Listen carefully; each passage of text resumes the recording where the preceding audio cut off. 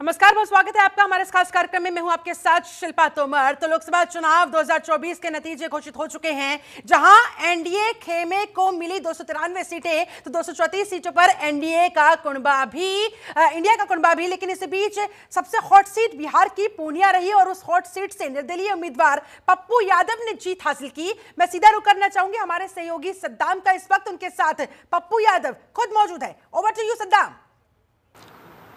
आ, बिल्कुल जैसा कि आप बात कर रहे हैं कि हॉट सीट बन चुकी थी पूर्णिया और वहाँ पर किस तरह से जनता ने जो प्यार दिया पप्पू यादव इस वक्त हमारे साथ मौजूद है उनसे बात करेंगे कि वहाँ पर जिस तरह से लोगों ने प्यार दिया उनके लिए वो क्या कुछ कहेंगे? सबसे पहले तो बधाई आपको पूर्णिया की जनता ने जो सर माथे पे बैठाया है उसके लिए क्या कहेंगे आप?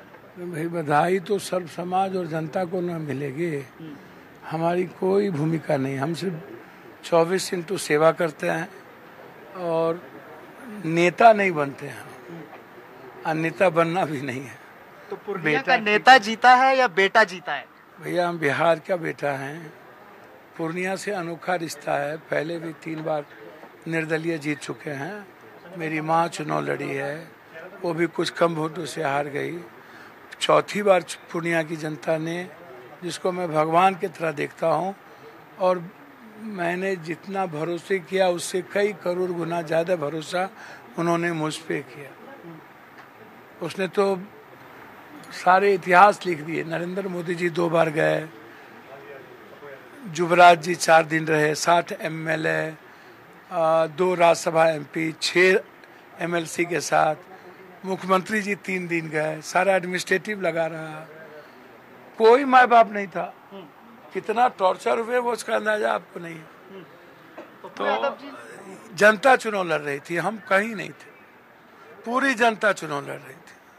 पूरा हर जात का यूथ चुनाव लड़ रहा था। और सबसे ज़्यादा वहाँ माहौल बनाया भाई आप इसको समझिए कि कहीं भी उतना वोट आदिवासी दलित मुसलमान का नहीं पड़ा होगा। हंड्रेड टू प्रतिशत मुसलमानों ने वोट। परसेंटेज की बात मैं बता रहा हूँ। 85 से बढ़ा 92 तक गया। जो हिंदुस्तान में किसी को नहीं मिल सकता। 85 से शुरू हुई मुसलमान का वोट 92 तक गया। 70 60 से क्रॉस नहीं किया बिहार में मैंने, कई कारण है उसके। करैया को वहाँ से भगाया हिना साहब को नहीं दिया, बोल दिया, इंडिया नहीं, एनडीए को दे दो। कई कारण मन पर, नहीं तो अररिया में दो कास्ट ग्यारह लाख से ऊपर है। आप वहाँ चुनाव कैसे हार जाएँगे भैया? ओनली टू कास्ट कटिहार किस परिस्थिति में जीते हैं वो हम जानते हैं। आप इसको समझिए। आप इतने हालात, आज 25 सीट होते वहाँ 26 आप एक व्यक्ति के विरोध के जिद के कारण एक व्यक्ति की जिद के कारण। आपने मधेपुरा गमाई आपने अररिया गमाया आपने सुपौल गमाया खगड़िया गमाया झंझारपुर गमाया मधुबनी गमाया दरभंगा गमाया। आप उठा करके देखिए। आप कितने सीट खत्म किए। लेकिन एक बड़ा आज आज देश को नुकसान हुआ ना। पीएम होते नरेंद्र मोदी 25 सीट 15 सीट और बढ़ गई होती तो। पंद्रह सीट उधर घर जाता। एक तो दिल्ली ने तकलीफ़ दिया। दूसरी चीज़ बिहार सबसे बड़ा तकलीफ़ दे दिया। एक बड़ा सवाल उठ रहा है पप्पू यादव जी की इस वक्त आप जनतंत्र टीवी पे लाइव है पूरा देश आपको सुन रहा है। आप एनडीए के साथ है जाएँगे या फिर इंडिया के साथ? अब देखिए हमको तो एक बात समझ में नहीं आता है कि आप लोग एजेंडा तय क्यों करते हैं? देखिए मेरे लिए प्राथमिकता है जनता और तब है बिहार का विकास। हमको कोई लेना देना आपके दिल्ली पटना अन्यतागिरी से नहीं है। हम भैया हाथ जोड़ते हैं। हम एक साधारण वर्कर हैं, रहने दीजिए, काम करने दीजिए, बिहार मेरा लक्ष्य है। पीएम सीएम मंत्री जिसको बनना है, बनने दीजिए। हम लड़के पैर पकड़ के नरेंद्र मोदी जी, मेरे भी पीएम है। हम काम कर लेंगे। जैसे ही खत्म होगा लोकसभा ऊथ परिवार अपने बच्चों के साथ रह करके हम सीधा क्षेत्र जाएगा। कांग्रेस ने कुछ बातचीत किया है आपसे? कांग्रेस से तो डेली बात रहती है रायबरेली में हम थे अमेठी में थे बनारस में थे झारखंड में काम कर रहे थे प्रताप सब जगह थे। और कांग्रेस के राहुल जी और प्रियंका गांधी का तो पूरा ब्लेसिंग और ट्रस्ट मेरे प्रति रहता है। तो मेरे लिए दोनों नेता का ट्रस्ट है यही बहुत है। तो क्या कांग्रेस में जब अगर जाते हैं या फिर अभी तो हैं आप आपकी पार्टी भी विलय हुई है तो शर्त कुछ होगा या बिना शर्त माना हम शर्त वाले लोग आपको हम आपको क्या लग रहे हैं कि ऑफ़र चल रहे हैं सिक्सटी परसेंट मार्केट वाला ऑफ़र? हाँ? आप तो ऐसा ऐसा बात कर रहे हैं कि ऑफ़र क्या चल रहा है? तो फोर्टी है अभी डिबेट में चल रहे हैं। सिक्सटी में आप शर्त पप्पू यादव का शर्त जब हम मधेपुरा छोड़ दिए और सुपौल छोड़ दिए और हमने कह दिया मर जाएँगे मध्य पूर्णिया नहीं छोड़ेंगे। सच साबित हुआ वो। सर कोरोना में हम मर सकते थे ना। आज पिता के रूप में हम नहीं रहते इनके बगल में। छियालीस लाख लोग मरे, हम भी मर सकते थे। तो हमने परवाह कहाँ की? पटना के बाहर में भी हम मर सकते थे। हमने परवाह कहाँ की? पूर्णिया में हम चुनाव हार भी सकते थे। हमने परवाह कहाँ की? दाव पे कौन लगा देगा भाई? और जब वोट को डाइवर्ट कर दिया गया हो, कह के वोट को डाइवर्ट किया गया हो, और सबसे ज़्यादा मुसलमानों में पैसा बांटा यादवों में नहीं गया। आदिवासी और मुसलमानों में पैसा बांटने की कोशिश की गई। उसके लोगों को खरीद लिए मुसलमान को। और पूर्णिया हम कभी चुनाव आज तक बढ़े ही नहीं। Korha totally BJP. हम पूर्णिया में आठ सौ वोट से अजीत दास से हार गए थे। और सात बार चुनाव लड़े पूर्णिया में हम कभी भी हम बढ़त नहीं लिए। पहली बार हम बढ़त लिए। इसका मतलब है कि सभी जात का यूथ और बैस के छोटे छोटे बैस ने सबसे ज़्यादा वोट दिया हमको। नहीं तो चालीस हज़ार से हम डिफीट होते थे वहाँ। रुपौली जो सबसे ज़्यादा खराब था, एक लाख से डिफीट होते थे। सब दिन वहाँ एनडीए में एनडीए जीता अठहत्तर हज़ार से। हम इस बार उसको लाए चौदह हज़ार पर। तो आप सोचिए ना। अंदाज़ा करिए ना कि चुनाव कैसा हुआ। यदि राजद के कैंडिडेट वोट पचासों हज़ार लाया होता। पचास। तो मेरा एवरेज एक लाख क्रॉस करता। हम क्यों चौबीस हज़ार से जीते? कुशवाहा समाज का भी वोट मिला है बिल्कुल मिला। जहाँ कुशवाहा समाज को 400 वोट था संतोष जी को वहाँ हमको डेढ़ सौ था। एकदम मिला। सारे बूथों पर कुशवाहा समाज का वोट है हम पर। एकदम मिला। भूमिहार समाज के लोग लगभग 82 अस्सी प्रतिशत दिए। वहाँ कोई जाति ही नहीं थी भाई। हिंदू मुसलमान नहीं था कुछ नहीं था। वहाँ था बेटा वहाँ था चुनाव हॉट सीट था ना आप लोग का? वयानाड का चुनाव हो रहा था दिखा रहे थे पूर्णिया। सारा चैनल चले गए। सबको किसी को मतलब नहीं था। पूर्णिया में रिज़ल्ट क्या हुआ ये लोग सुनना चाह रहे थे। आप समझिए ना। लोग कह रहे कुछ सहानुभूति वाला भी वोट आपके साथ आया था। इसी, इसी ने जीत दिलाई। कौन सी का सहानुभूति? कौन चीज़ का सहानुभूति हमको बताइएगा तब ना।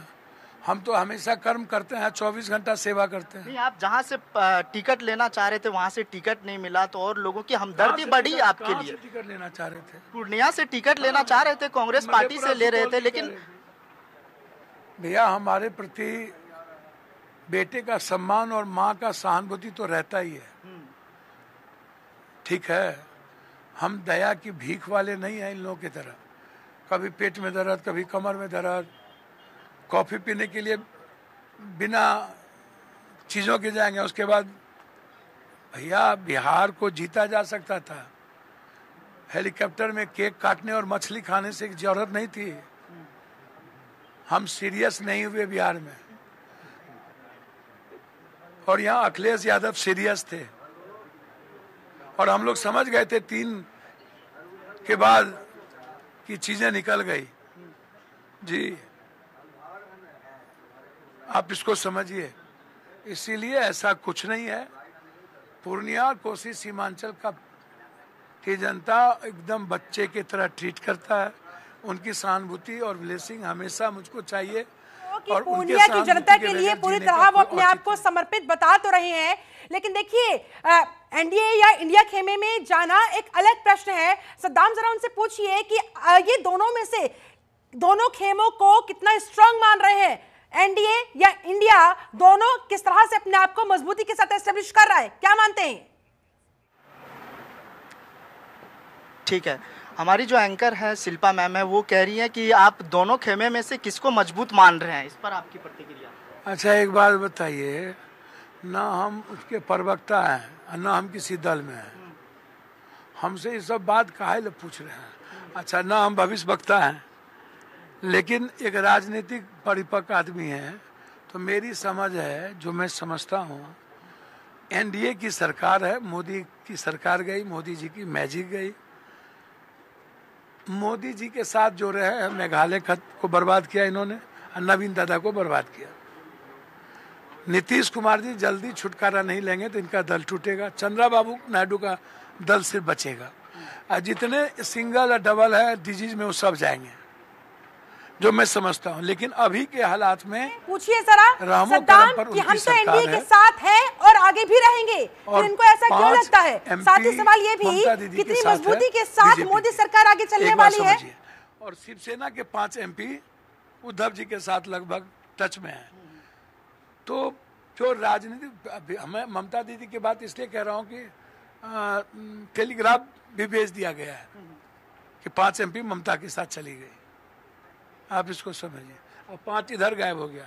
तो दस निकल गया। नहीं ये कितनी मजबूती के साथ ये सरकार चलने वाली है? आपको क्या लग रहा है? भैया हमको लगता है बीचे में मोदी जी को छोड़ना न पड़ जाए या किसी और के हैंड ओवर न करना पड़ जाए। राहुल गांधी और कांग्रेस ना आए, मोदी जी कुछ भी करेंगे। उनको दुनिया में सबसे ज़्यादा डर राहुल गांधी और प्रियंका गांधी से है।